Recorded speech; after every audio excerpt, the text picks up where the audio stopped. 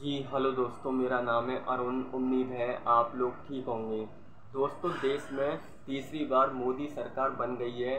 इसके साथ ही मंत्रालयों का भी बंटवारा हो गया है। बात अगर मोदी कैबिनेट में शामिल बिहार के मंत्रियों की करें तो आठ मंत्रियों को मंत्रालय बांट दिए गए हैं, जिसमें लोजपा आर के अध्यक्ष चिराग पासवान को अपने चाचा पशुपति पारसवाला मंत्रालय मिला है। चिराग पासवान को खाद्य प्रसंस्करण मंत्रालय की ज़िम्मेदारी सौंपी गई है।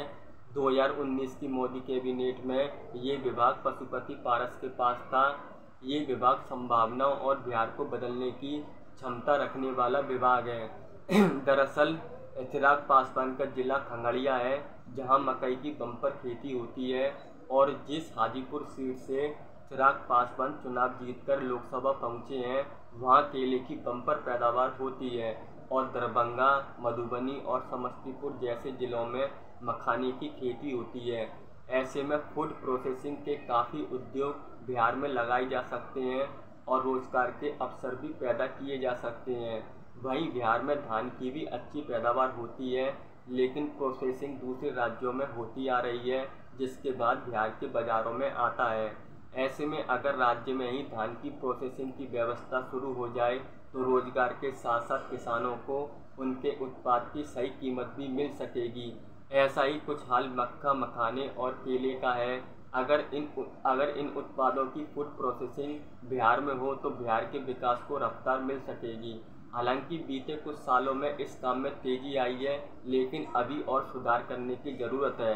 चिराग पासवान का खाद्य मंत्रालय संभावनाओं से भरा है। पहले उनके चाचा पशुपति पारस संभाल रहे थे और उनके पिता दिवंगत रामविलास पासवान भी खाद्य आपूर्ति मंत्रालय संभाल चुके हैं और केंद्रीय मंत्री रहते हुए कई मंत्रालयों का जिम्मा उठा चुके हैं।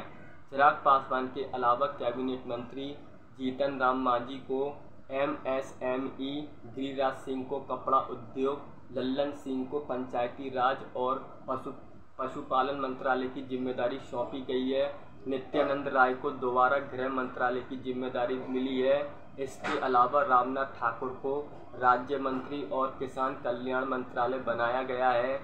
सतीश चंद्र दुबे को राज्य मंत्री, कोयला खनन मंत्रालय और राजभूषण चौधरी को राज्य मंत्री, जल शक्ति मंत्रालय की ज़िम्मेदारी सौंपी गई है। तो इस तरह से बिहार के आठ मंत्रियों को मंत्रालय बांटे गए हैं। Thank you.